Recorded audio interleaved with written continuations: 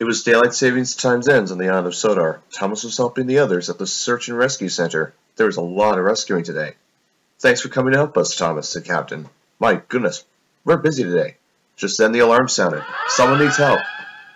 Oh, I agree, said Thomas. Quick, we gotta get to this, uh, the site before it's too late, said Butch. Let's roll out.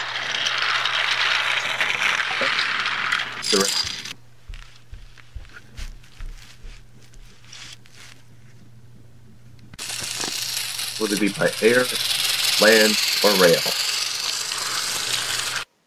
It was Percy. He derailed at a bump in the track. The fireman was trying to flag him down. Soon everyone made it to the site. We're here, Percy. Don't worry. Everything will be put right. Oh, I agree, said Belle. It'll be fine. Same here, said Flynn. Soon, Rocky got to work. It took no time, and soon they got Percy back onto the track. Butch was overseeing to make sure everything was right. Thanks for helping us, said Percy. Oh, no problem, said Butch. Percy's crew got a ride home in Butch's cab, and Percy was taken home. That night at the sheds, everyone was talking about the events when Sir Topham Hatt arrived.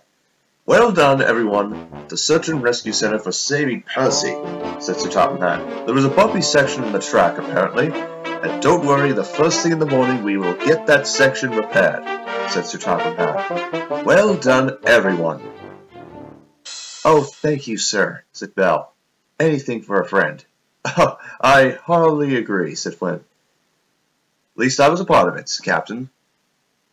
Everyone was, said Sir Topham Hatt. And besides, this is a team effort and not as one.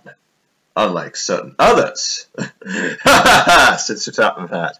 Besides, we all did very well today in saving Percy, and stopped my left.